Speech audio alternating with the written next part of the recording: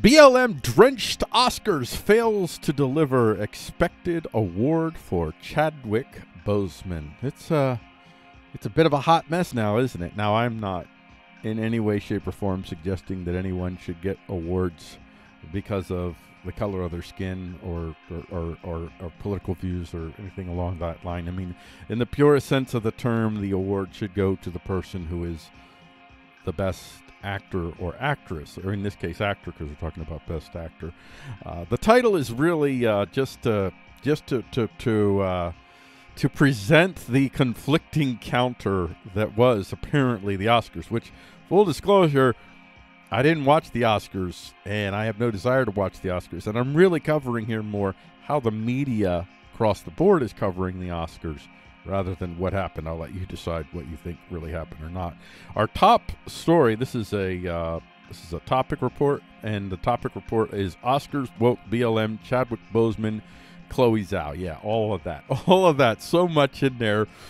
This uh, being able to sustain this highly puritanical, moralistic narrative is is awfully difficult, and, and the folks that are using this as a weapon of war against most human beings in this country are finding it difficult to sustain even amongst themselves.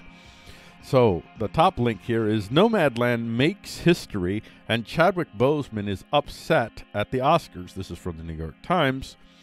It was a sleepy event until the final minutes when Academy voters served up a dramatic twist ending. Anthony Hopkins, 83, won the Best Actor for the Father, beating out the late Chadwick Boseman, Ma Rainey's Black Bottom, who was the runaway favorite going into the night, having been lauded by foreign organizations and critics groups for months.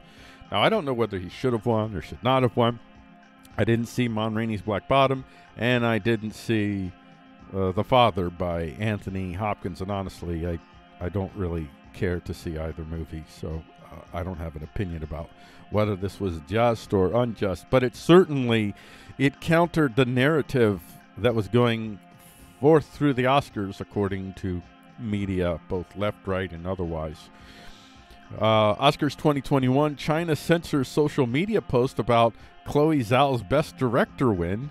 From Sky News, I found this particularly uh, delightful in that the media that is largely using its particularly my brother and I, uh, Bill Collier, the editor and my identical twin of The Freedomist, he's not the identical twin of The Freedomist, the editor of The Freedomist, and my identical twin, we have been debating the phrase, he's been saying just corpo state, and I've been saying corporate nationalist. And what we've really come up with is really corpo state nationalist, because not all corporate nationalists are necessarily corpo state nationalists. Uh, the difference is that the corpo state essentially acts like the state in terms of its assumptions about how it should be governing people rather than serving a product. But not all corporate states are nationalists, and not all corporate nationalists are corporate staters. There's some corporate nationalists that believe in just using their influence to influence government to create uh, nationalism. So in this case, the corpo state nationalists, that's a new phrase that we're using because this really more accurately describes what we're talking about.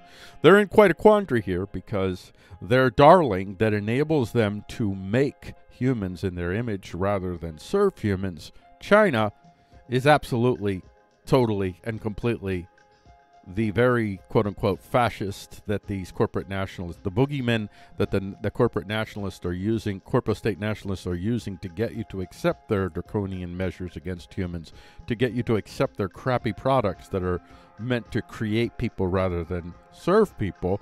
Well, their darling that gives them the economic wealth outside of the United States of America, outside of the quote unquote West, well, this is what they're doing while they're awarding, awarding Chloe Zhao for her film in which she apparently uh, I didn't see her film, but apparently the film is about the, the the death of the American dream, I guess.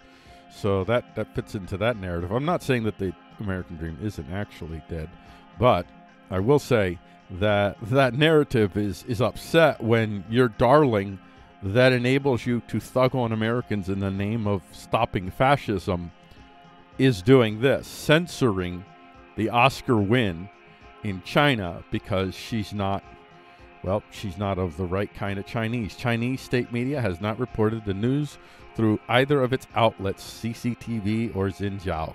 But in China, where she was born, social media posts about her victory has been deleted, and they won't let the Chinese people see it.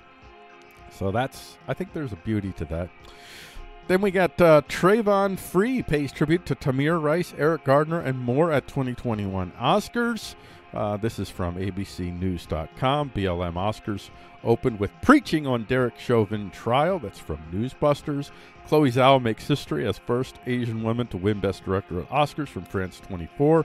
Oscar winner pushes cop killing myths today. The police will kill three people from Newsbusters.org. And uh, that's pretty simplistic because the three people that do, do get killed, they might actually be bad people that maybe cops should kill. Like, not all police shootings are unjust. Tyler Perry's out, out Oscar speech goes viral. My mother taught me to refuse hate.